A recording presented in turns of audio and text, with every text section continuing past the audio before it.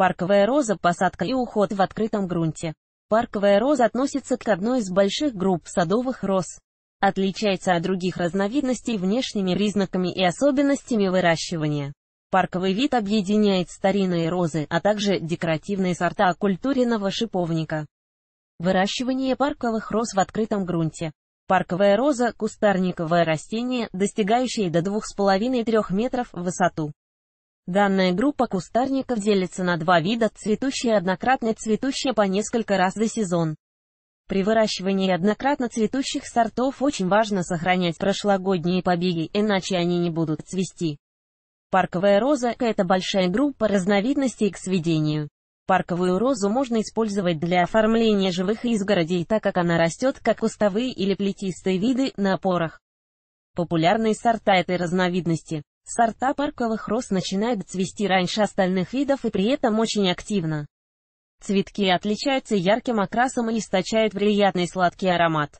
Канадские парковые розы такие сорта предназначены для выращивания в условиях прохладного климата. Растения способны выдержать похолодание до минус 35 градусов. Они замечательно развиваются в регионах средней полосы, но в южных областях им будет слишком жарко и они могут страдать от засухи. Джон Дэвис – высокорослый и пышный куст, достигающий 2-2,5 метра в высоту и 1,5 метра в ширину. Розовые цветки обладают классической формой и удивительным сладким ароматом. Период цветения стартует в начале лета и продолжается до самых холодов. Сорт Джон Дэвис Джон Франклин куст среднерослый и компактный, вырастает до 1,2 метра в высоту и 1 метр в ширину. Цветки махровые с бахромчатыми лепестками красного окраса. По внешнему виду напоминает гвоздики. Цветы расположены на побегах одиночно или в небольших соцветиях. Отличаются приятным легким ароматом. Обратите внимание, цветение длится в течение всего лета. Мордин Санрайс невысокий куст растения, может достигнуть 1 метр в высоту и 0,7 метра в ширину. Цветки оранжево-розовые средней величины около 8 см восточной долгодиаметре. Сорт отличается высокой морозоустойчивостью. Мордин Санрайз Прайри Джой крупный розовый куст с зелеными побегами и многочисленной зеленой листвой. Стебли украшены большим количеством соцветий из трех-пяти махровых ароматных цветков. Сорт подходит для использования в оформлении живых изгородей. Английские парковые розы – это разновидность роз отличается крупными, до 12 см в диаметре цветками особой формы. Также садоводы отмечают необычайно красивое формирование кустов. Как правило, это раскидистая форма культуры, покрытая тяжелыми махровыми цветками с удивительным ароматом. Абрахам Дерби цветки крупной классической чешевидной формы, которые обладают легким фруктовым ароматом. Расположены бутоны на кончиках стеблей в виде одного-трех цветоносов. Лепестки абрикосовые с розовой окантовкой. В холодную погоду окрас становится более ярким. Обратите внимание, сорт отличается двумя волнами цветения. Сорт Абрахам Дерби Бенджамин Бритсен куст сильный, но небольшого размера. Высоту вырастает до 1 метра. Цветение бильное. Крупные цветы имеют чашевидную форму, обладают фруктово-винным ароматом. Окрас ярко-красный с оранжевым отливом. Сорт устойчив к заболеваниям, нетребовательный к условиям произрастания. Вильям Шекспир 2000 сорт невосприимчив ко многим заболеваниям и вредителям. Розы густо-махровые ярко-красного цвета очень приятно пахнут. На каждом стебле одновременно распускается несколько бутонов. Они держатся на ветках до двух недель. При распускании цветы чашевидные, далее приобретают более плоскую форму. Вильям Шекспир 2000 Чиппендейл Сорт Чиппендейл относится к группе шрабы, обладает высокой морозоустойчивостью до минус 27 градусов. Куст мощный, сильнорослый, компактный. Высота взрослого растения около 0,8-1,2 метра, ширина 0,7-1 метр. На прямостоящих гибких стеблях распускаются темно-зеленые плотные блестящие листья. Розы крупные, до 12 см восточной долгодиаметре чашевидной формы с приятным сладким ароматом. Лепесточки махрового или ярко-оранжевого, абрикосового и нежно-розового окрасов. Все цветки собраны в небольшие соцветия из двух-трех роз. Расположены они на самой верхушке стеблей. Другие сорта не менее популярны и другие разновидности парковых роз. Сорт Вестерленд гибридный куст вырастает около полутора-двух метров в высоту. Обладает толстыми и мощными стеблями. Хорошо растет в небольшом затенении. Листва зеленого и оливкового окрасов и глянцевая. Бутоны оранжевые на цвет после раскрытия их окрас меняется, становясь розовым. На одном побеге одновременно может цвести 5-10 роз. Их размер 10 см восточной долготиаметре, форма чашеобразная. Луис Адер куст высокорослый, может вырастать от полутора метров до 2-3 метра в высоту. Его ширина 2 метра. На стадии раскрытия цветок по виду напоминает пион, в фазе полного открытия приобретает форму блюдца. Цветение волнообразное, розочки появляются в кистях до 5 штук. От такого количества цветков стебли начинают сгибаться в разные стороны и куст становится похож на фонтан из цветов. Важно! Сорт зацветает повторно в начале осени. Сорт Луис Адир Роза Чайнатаун кустик невысокий, вырастает до 0,9 метр в высоту, густооблиственный. Листва темно-зеленая, глянцевая и плотная. Бутоны кремово-желтого окраса с насыщенно-розовыми штрихами боковидной формы, они заостренные на кончиках. Цветки крупные, до 8-10 см, восточной долготиаметре, желто-розовые, чашевидной формы махровые и источают приятный аромат. Цветение обильное, непрерывное. Обратите внимание, даже произрастая на бедных почвах, сорт будет прекрасно себя чувствовать. Парковая роза, посадка и уход в открытом грунте. После выбора подходящего участка и почвы следует переходить к посадке розы. Сперва нужно подготовить лунки. В какое время осуществляется посадка парковой розы растут на улице, поэтому сажать их нужно в теплое время года. Начинать посадку кустов можно в мае и осуществлять ее до середины осени.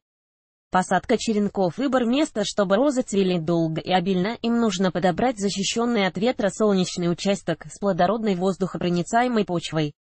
Не стоит сажать их в тени под высокими деревьями, так как цветение не будет обильным. Как подготовить почву и цветок для посадки? Что касается почвы, то здесь парковая роза не слишком притязательна. Но чтобы растение быстро укоренилось и набралось сил, понадобится рыхлая земля.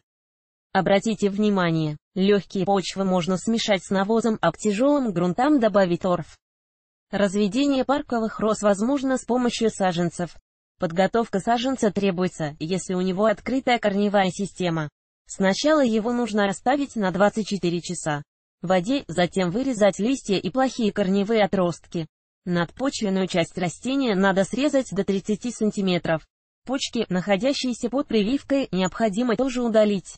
В конце следует обработать саженец 3% раствором железного купороса, корни окунуть в смесь глина и коровяка пропорция 2:1. Процедура посадки пошагово-пошаговая инструкция правильной посадки парковых роз. Сперва нужно вырыть яму 40 см восточной долготиаметре и 70 см в глубину. Насыпать на дно дренаж битый кирпич, гальку, керамзит или глину слоем до 7 см. Засыпать подготовленным грунтом. По центру лунки поместить саженец. Сверху насыпать обычной земли или специальной почвосмеси. Землю притоптать и полить примерно 15 литров воды на один куст. Окучить саженцы сухим торфом слоем до 20 сантиметров. Уход за растением. Уход и выращивание парковых роз в домашних условиях требует внимания от цветовода. Только в этом случае они вырастут красивыми и стойкими к разным болезням. Правило полива и влажность растения лучше переносит засуху, чем слишком влажный грунт. Но для нормального развития необходимо обильно поливать кусты весной и летом. В этот период розы тратят много сил на розоцветение. Если стоит сухая летняя погода, поливать кусты нужно 2-3 раза в неделю. К сведению, вода нужна розовым кустам во время роста, формирования бутонов и период цветения. Если ощущается ее нехватка, побеги перестают расти, начинают увядать цветки и мельчают, осыпается листва. Полив розы требуется обильной подкормкой качество почвы весной до начала активной вегетации нужно внести под куст азотное удобрение. В середине или конце лета калино-фосфорные. Осенью до прихода заморозков необходимо еще раз удобрить перепревшим навозом. Розы предпочитают легкую глинистую землю с большим количеством гумуса. Если глинистая почва слишком тяжелая, ее можно улучшить, добавив торф или перепревший навоз. Обрезку и пересадка весной до распускания почек нужно провести санитарную обрезку, удалить отмершие, обмороженные, сухие ветки, а также слабые внутренние. Осенью можно провести омолаживающую обрезку, старые стебли обрезать у основания земли, а также убрать нецветущие побеги и мелкую поросль. Обратите внимание, обрезка кустов – это простой процесс, удаляют заросшие побеги, придают им форму, обрезая на 0,5 см над глазком, чтобы тот не высох. Обрезка стеблей розы проводится осенью и весной, как цветут парковые розы, сколько раз за сезон.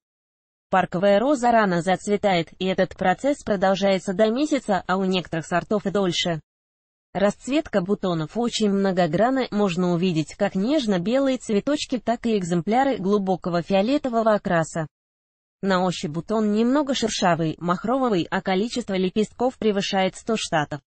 Этим не может похвастаться никакой другой сорт роз. Парковые розы условно делят на две большие группы, цветущие один раз, цветущие многократно. Как ухаживать во время и после цветения, в период цветения следует убирать отцветшие бутоны. По окончанию процесса нужно проводить обрезку стеблей. В сентябре рекомендуется на зиму убрать с побегов всю листву, пригнуть их к земле и закрепить, далее укрыть кусты спанбондом, лапником. Открывать укрытие нужно только когда наступят первые дни весны. Болезни, вредители и способы борьбы с ними. Парковая роза часто страдает от мучнистой росы из сферотеки. В профилактических целях в начале весны следует опрыскать куст раствором железного купороса, а в период цветения – соответствующими препаратами. Из вредителей кусты беспокоят долгоносики, тля, паутинный клещ и листовертка. В случае их нашествия растения нужно будет опрыскать инсектицидами. Парковую розу можно выращивать в любом регионе, она везде сможет украсить любой сад, да и размножение таких видов – несложное дело. Вырастить их сможет даже новичок. Главное, ответственно подойти к выбору подходящего сорта и следовать всем правилам посадки и ухода.